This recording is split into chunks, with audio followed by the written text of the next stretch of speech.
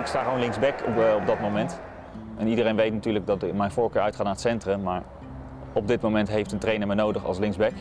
En dat was, was uh, vorig seizoen ook zo het geval. En dan moet ik het maar op linksback laten zien. Misschien kom je hier het best tot je recht. Ja, inderdaad. En ik denk dat je sowieso als je op een andere positie speelt, dat je, dat je veel meer leert daardoor ook. Ehm, nu is het toevallig linksback, dan moet ik het uh, daar doen. Maar ehm, ik denk als voetballer moet je gewoon blij zijn dat je mag voetballen.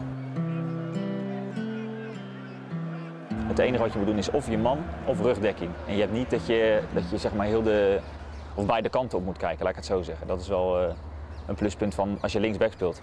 Maar ja, het nadeel van linksback is dat je ook altijd zo'n leuke snelle rechtsbuiten tegenover je hebt. Die meestal vrij technisch zijn en snel zijn. Dus, ja. Wat is het dan met linksbacks in Nederland?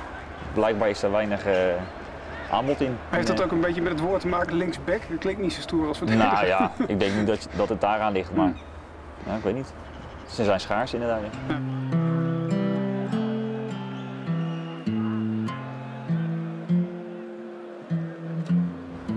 Ik hou niet zo van de spotlight.